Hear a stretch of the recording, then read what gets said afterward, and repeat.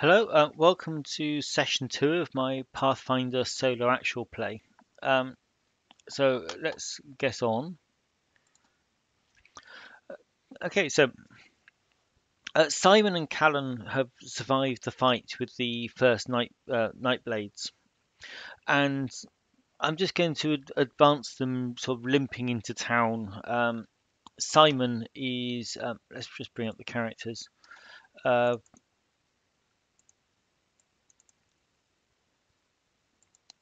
Yeah, he- here they are. Um, Simon has got wounds of, uh, he's taken 14 hit points. Um, uh, Callan's uh, got a minor wound there. So they're helping each other into town. Uh, Callan is going to hold on to the last bit of magic that he's got just in case um, something else bad happens. And so they arrive into town. Now, the town, according to the adventure, um, has very little description. Um, all I know is the sheriff's name, um, but there's not really much to go on. Um, I know there's a, a ruined tower or castle above it, so I'm assu- I'm imagining it on kind of you know on a hillside, but, but below this um tower up above. So I'm just going to use the oracle and just ask a few questions about the town. Uh, say you know how prosperous do, does it look? Um, you know, it, it, is it a prosperous um, little village or town? Uh, I think it's fairly likely, and yes, it is.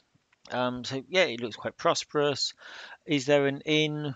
Um, yes, but mm, what does the but mean? Uh, say it's currently closed. Um, so which is a bit of a blow because I was hoping to stay in the inn. Um, so are there any people on the street? Let's have a look. No, but um, what does the but mean? Um, uh, but there's say that, but there's plenty of lights on in in the um, in the in houses. Um, see, I know the town has a sheriff, so I can imagine there's a um, sort of a, a stone built um, sort of town guard house. Um, I've, I've always heard there's a, a tavern um, or an inn, but it's closed. Uh, uh, is there a church? Let's have a look. Is there a church? Probably yes. And and um, it, there's singing coming from the church. It's, like there's a service open, uh, service going on, and so that uh, that breathes a little bit of life into the scene. Um, I can imagine it being early evening, and uh, so yeah, the um, we limp into town. Uh, eh, heading up towards the, the inn first of all and finding that it's closed. We hear singing from the church, and so we're going to um, you know wander over that way. If there's nowhere to stay, then maybe the priest will give us um, some kind of sanctuary in the church just to you know somewhere to sleep the night. Um, I'm a cleric, so uh, you know it's not as if I'm just some stranger off the, the street. Well, I am, but that's beside the point. Um, so yeah, that, that gives us the kind of town, and shortly after the service um, ends and the te- people come out. Now I'm wondering if actually the tavern was closed because they were all in church. Let's have a look. Is the tavern going to open? Yes, it does. So I can imagine the villagers will give us a you know a bit of a um, odd look. You know, we're he- fairly heavily armed, uh, armored, but obviously beaten up and you know, a bit bloodstained, battered. But the um, we see the innkeeper. Uh, let's have an innkeeper name. Let's see. Uh,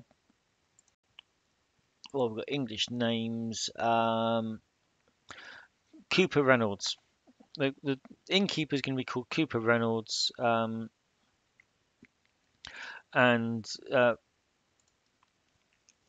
so it, you know the there's the the the, the inn there, and it says proprietor Cooper Reynolds above the door. And you know, we're not the only people heading in. You know, there's uh, you know, a few villagers going in there, and so we follow it, uh, them in and uh, ask um, the barkeep, "Can we get a room for the night?"